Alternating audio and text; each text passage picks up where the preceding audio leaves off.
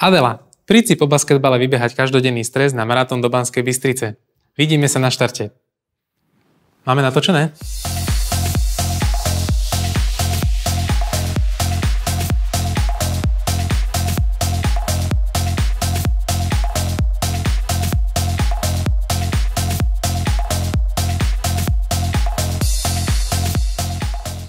Ľubo, beh je ako bomboniera.